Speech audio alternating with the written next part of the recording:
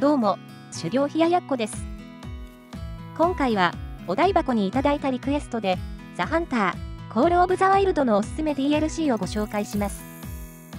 現在有料の DLC は全部で24種類存在しますので、何を買おうか迷った際に参考にしていただけると嬉しいです。DLC は、マップ、武器、その他装備の3種類に分けてご紹介します。おすすめの追加マップは、エアワロア、サバンナ、シルバーリッチです。共通する点としては、見晴らしの良さ、群れの多さ、狩猟が難しい獲物が少ないことが挙げられます。デアワロアは8種類の獲物が生息しており、クラスが1から6と初期銃の推奨クラスに対応しています。また、ミッションを進めていくと、ライフルの FL スポーターが無料で手に入ります。推奨クラスは4から8で、威力、精度、反動の大きさが優秀な銃です。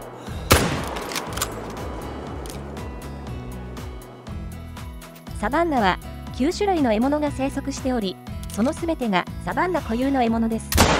オリックス、アフリカ水牛、ライオンなどの大型の獲物を狩猟することができます。ライオンは、このゲームで、最高の感覚、攻撃力を備えており、近距離で遭遇した際には、かなりのスリルを味わえます。クラス7から9に対応したライフルを持っている方におすすめです。シルバーリッチは、9種類の獲物が生息しており、サバンナ同様、アメリカグマ、ロッキーマウンテンエルク、平原バイソンなどの大型の獲物を狩猟することができます。プロングホーン、ビッグホーン、白岩ヤギ、平原バイソンは、ルアーが存在しないため、おびき寄せ狩りはできませんが、群れを作っていることが多く、狩りやすい獲物だと思います。クラス7から9に対応したライフルを持っている方におすすめです。景色の良いマップを散歩するのも楽しいかもしれません。個人的なおすすめマップは、オーロラの見えるデボントゥリ海岸、ラベンダーやひまわり畑があるクワトロコリナス、赤い大地が特徴的なユーコンバレーです。ユーコンバレーを購入すると、マップ武器としてキャニングマグナムが解放されます。値段と解放までの武器スコアは高いですが、大型の獲物をたくさん借りたい方にはおすすめの銃です。おすすめの前に、武器パックについて簡単にご説明します。武器パックでは、基本的に3種類の装備が追加され、アウトポストのストアから無料で手に入れることができます。武器スコアの制限もないため、お金やスコアの足りない序盤には特におすすめです。もちろん、ある程度進めた後でも有用です。では、おすすめに移ります。武器パックのおすすめは、ハイテクハンティングパック、モダンライフル、スモーキングバレルパック、ウェポンパック1です。ハイテクハンティングパックは、暗視装置と弓に特化した武器パックです。暗視双眼鏡、暗視スコープは、獲物が見づらくなる夜間に重宝します。ただし、雨や霧の際には視界が悪くなるため、要注意です。ブライトサイト、測距儀付きボウサイトは、弓狩りで必須となる獲物との距離の計測、着弾位置の予測ができる便利なサイトです。他のサイトに比べて、重量が2、ある点がデメリットですが、ミッションの時だけ弓を使うという方には特におすすめです。以前の動画、赤狐の弓狩り解説でも紹介していますので、気になった方はぜひ見てください。モダンライフルはライフルが3種類追加されます。特におすすめなのはザラザ308で、4から8体の銃としては、弾丸、銃の性能ともに頭1つ抜けています。他の武器パックに比べて、現代的なため、狩りらしさを求める方は、他の武器の方が適しているかもしれません。ザラザ22は、クラス1に対応した武器です。相談数は5で、低反動、高レートが特徴です。クラス1対応のライフルは、武器パックでしか手に入らないため、モダンライフルパックなどで1つ持っておくのがおすすめです。スモーキングバレルパックは、ライフルが2種類、ショットガンが1種類追加されます。おすすめは M1 で、4から8体の銃で人気の銃です。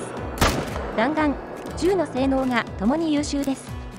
ただし、反動は少し強めになっています。リロード時の音が先という方もいる人気の銃です。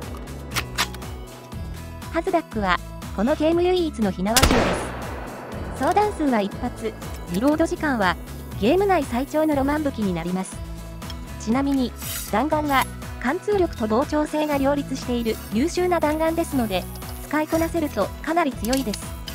ロマンを感じたい方におすすめです。ウェポンパック1は、ライフルが1種類、弓が2種類追加されます。おすすめはバイラント22で、クラス1に対応したライフルです。相弾数が10発と多く、他の銃に比べて発砲音が小さいのが特徴です。サイトにアーガスを使用している場合、着弾位置がだいたい50メートルごとにメモリ1つ分下がるため、覚えるとかなり使いやすい銃です。クロスポイントはクロスボウで、武器種としては弓に分類されます。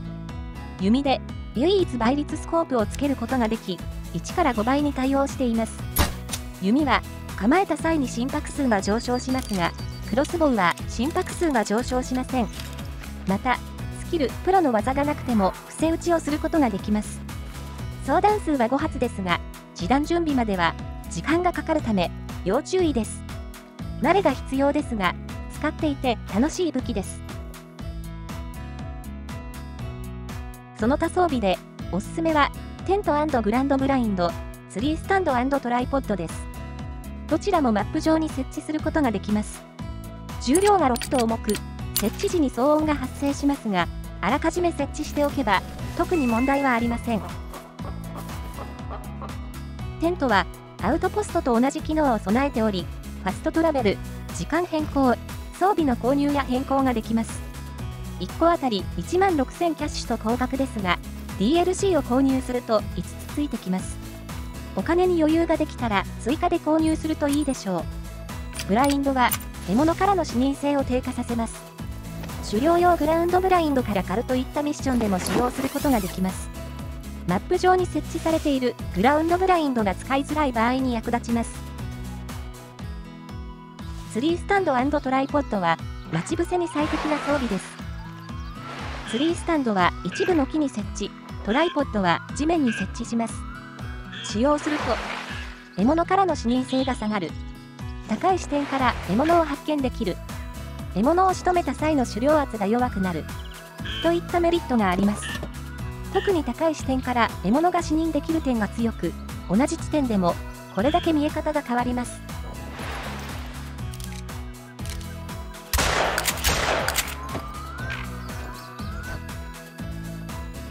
狩りの助けになる DLC ではありませんが、ロッジのサセカサファリはとてもおすすめです。ロッジでは、剥製にした獲物を飾ることができ、自分だけのコレクションルームを作れます。トロフィー評価の高い個体や、レアな毛皮の個体を飾るなど、楽しみ方は人それぞれです。一部の獲物はマルチトロフィーマウントといって、複数の獲物を組み合わせたトロフィーを作ることができます。剥製を飾れるようになると、ザ・ハンターがより一層楽しくなりますので、ぜひ購入を検討してみてください。今回はここまでです。ご紹介した DLC は概要欄にリンクを貼ってあります。皆さんの DLC 選びの助けになれば嬉しいです。ご視聴ありがとうございました。